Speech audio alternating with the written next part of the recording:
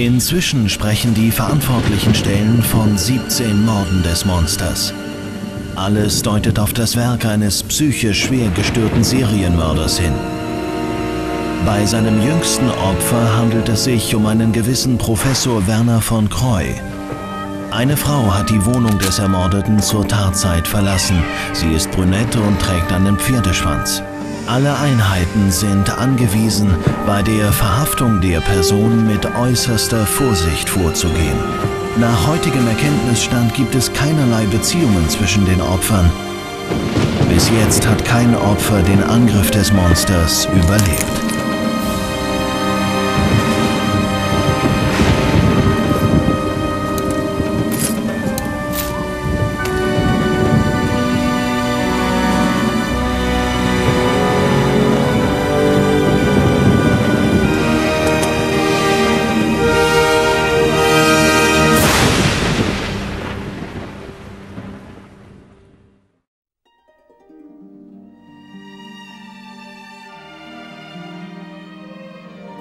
Hallo da draußen und herzlich willkommen zu meinem Let's Play von... Ah, der Controller wird gar nicht erkannt. Das ist nicht so gut. Fängt schon mal super an. Willkommen zu meinem Let's Play von Tomb Raider, The Angel of Darkness. Das Spiel heißt zwar... Ne? Engel von Dunkel. Aber ich fände The Angel of Hell auch ziemlich passend. Ähm... Ja, aus irgendeinem Grund haben meine Zuschauer es geschafft, mich dazu zu überreden, dass ich mich in dieses dunkle Becken der Entmachtung, Entrüstung und Hoffnungslosigkeit stoßen lasse. Für Sparta! Und genau das wird dann wohl in den nächsten 150.000 Folgen auch passieren. Im Hintergrund hört ihr den vermutlich besten Titeltheme der ganzen Serie. Jetzt kommt's. Oh, spürt ihr das? Spürt ihr es?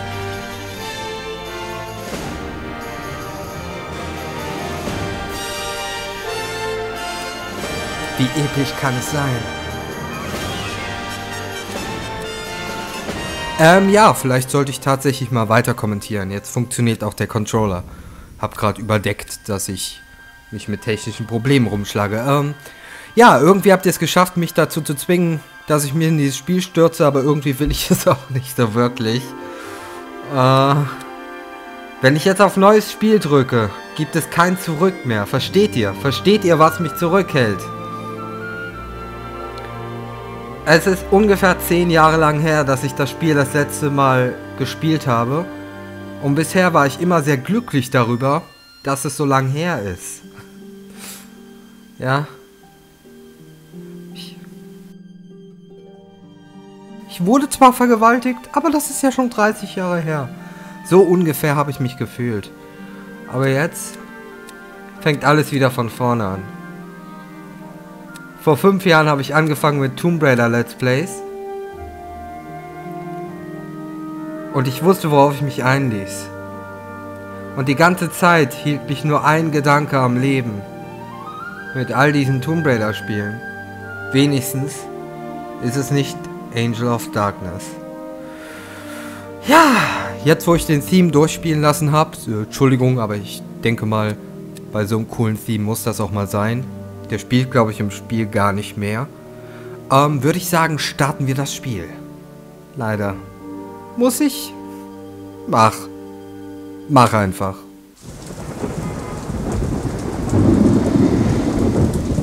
Vor zwei Tagen. Hilf mir, Lara. Du musst etwas für mich besorgen. Einen besseren Videocodec. Worum geht's? Ich suche für einen Kunden namens Eckhart die fünf Gemälde der Finsternis. Der Kerl ist ein Psychopath. Warum soll ich mich einmischen? Weil ich verfolgt werde. Da draußen sterben Menschen. Da musst du durch, Werner. Lara, bitte. Pass auf. Triff dich mit dieser Frau Carvier. Sie kann uns helfen. Ägypten, Werner. Du hast mich im Stich gelassen. Lara!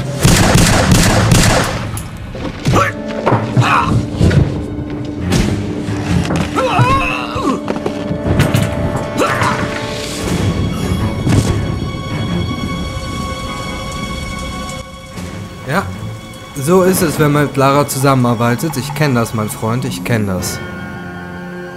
Seit fünf Jahren kenne ich das. Sie macht es jeden Tag. Sie tötet mich jeden Tag. Aus irgendeinem Grund lebe ich noch, aber es ist gar kein Leben mehr. Es ist nur noch ein Leiden. Aber Blut auf den Händen. Wer Anniversary gespielt hat, weiß, worauf ich anspiele. Core Design hatte wenigstens genug Eier in der Hose für Blut an den Händen. Das muss man ihnen lassen.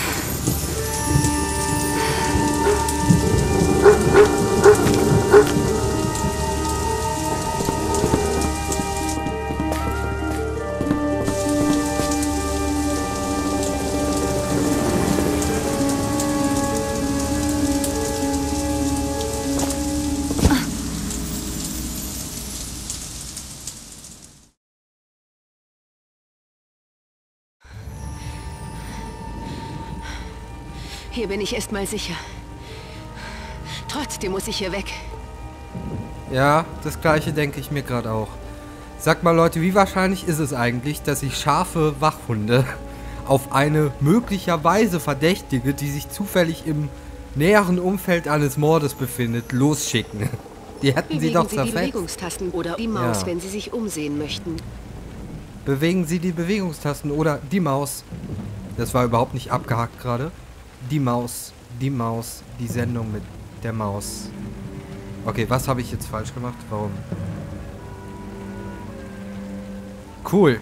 Wenn ich auf L1 drücke, blende ich unten das Bild eines gehenden Menschen ein. Dieser Mensch da unten geht aufrecht. Ich möchte... Ich möchte gerne auch aufrecht gehen. Lara? Wie mache ich, dass du jetzt wieder aufrecht gehst? Ich weiß, du kannst neue Moves und ich finde das auch super. Aber wir müssen jetzt nicht die ganze Zeit, weißt du? Lara. Es, es bringt nichts herumzuschleichen. Ich sehe dich. Oh, dann höre ich mal auf. Ja, dann hör doch auch auf. Ich drücke alle erdenklichen Tasten. Seht ihr, was ich meine? Sie ist jetzt... Uah. Okay, der ist angeschnallt. Äh, angeleint. Sie ist jetzt nicht wirklich in aufrechter Fa Position, sage ich Ich könnte mal. auf die Kiste klettern. Ja, du könntest auch wie ein normaler Mensch gehen und so, ja? Nein. Ich tue so, als wäre ich der Glöckner von Notre Dame. Aber ein hässlich. Notre Damenbad. Ach, ach, okay. Okay. Ja, hm. L2. So, wie laufe ich? Die Steuerung hat sich seit den Vorgängern ein bisschen geändert, deshalb ich muss da mal kurz... Das ist nicht, wie ich laufe. Oh, ist abgesperrt. Gut, das ist schon mal die Aktionstaste. Was, wolltest du dem jetzt vor die Tür kacken? Das ist so typisch Lara, ja? Wenn du eine Sekunde mal wegguckst, kackt sie dir vor die Tür und dann rollt sie sich darin. Und das finden die Leute dann sexy. Ich habe mich immer gefragt, was mit den Leuten fal falsch läuft. Aber jetzt mal im Ernst. Wie laufe ich denn? Äh, sie ist gerade gelaufen. Habt ihr es gesehen? Sie ist gerade gelaufen. Ganz kurz. Ah, sie läuft nur, wenn ich gerade... Das kann doch so nicht gedacht sein. Ähm... Hilfe! Wie laufe ich? Entschuldigung, aber alles, was ich... Ich muss die Aktionstaste gedrückt halten? Wirklich? Egal. Ja, würde ich sagen, springen Sie wir sich erstmal neben da... die Kiste und drücken Sie die Vorwärtstaste, um auf die Kiste zu klettern. Lara, wenn ich neben der Kiste stehe und dann die Vorwärtskiste, äh, Vorwärtstaste drücke, läufst du gegen die Wand. Du meinst, so stellen sie sich vor die Küs Küste. Gehen Sie zum Rand der Kiste und drücken Sie die Springentaste, um sich am Balkon festzuhalten. Okay, ich verstehe schon. Das ist äh, d- durchaus noch so wie in den Stellen Sie alten sich an Teilen. den Rand dieser Spalte, um hinüber zu springen. Halten Sie die Gehen-Taste gedrückt, damit ich nicht hinunterfalle. Würde mich auch mal gerne an den Rand deiner Spalte stellen. Ho, ho, ho, ho. Drücken Sie jetzt gleichzeitig die Springen- und die Vorwärtstaste. Sag mal, Lara, was hast du eigentlich für Schuhe an? Dürfte ich, dürfte ich das mal... Nee, ich wollte nicht darunter. Guckt euch mal diesen Fußabdruck an. Der ist doch jetzt nicht von ihr, oder? Nee, der ist nicht von ihr.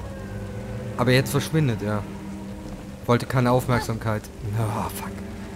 Ist halt eher so ein introvertierter Fußabdruck. Ah ja, stimmt. Da hinten war... Vielleicht liegt da hinten noch was. Okay, die, die Tür ist offensichtlich zu. Hallo Hund. Yay. Voll sie. Nein! ist voll, voll gemein, ne? Der wittert schon sein Futter und ich mach dann ab.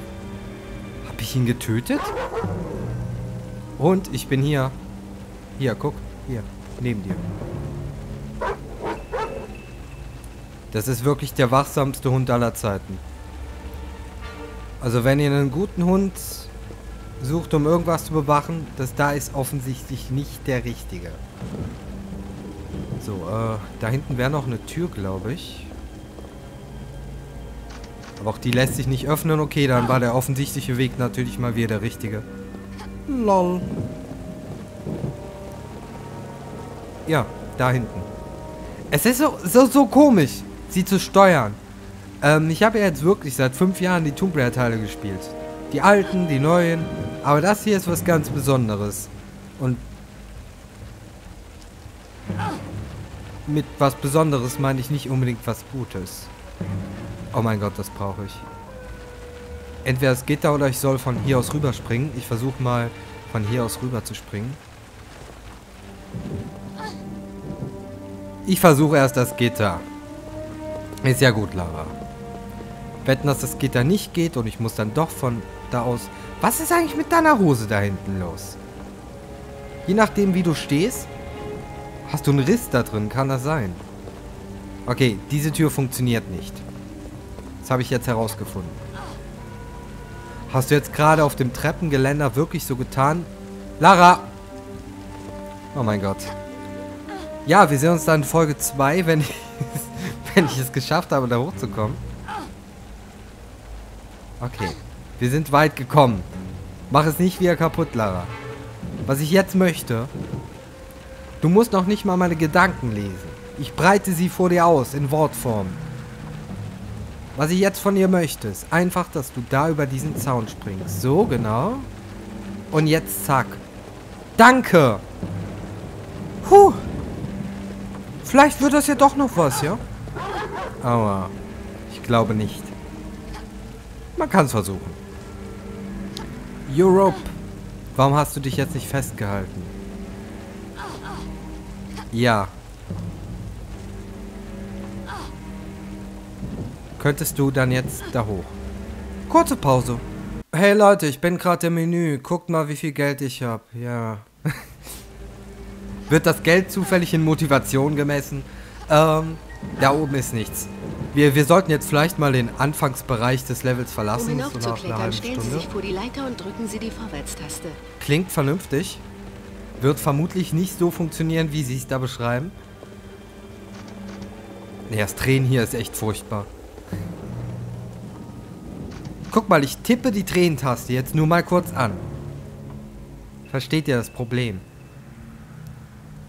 Ich gerade auch nicht. Jetzt funktioniert's. Vernünftig. Komisch. Ah, Moment mal, Moment mal. Ist es... Nee, es, jetzt funktioniert's. Ich bin äh, fraglos. Ernüchtert und verwirrt. Lara, ich will nur, dass du die Leiter, verstehst du? Okay. Ja, ich habe aus Gewohnheit jetzt nochmal äh, hier Dings Aktionstaste gedrückt.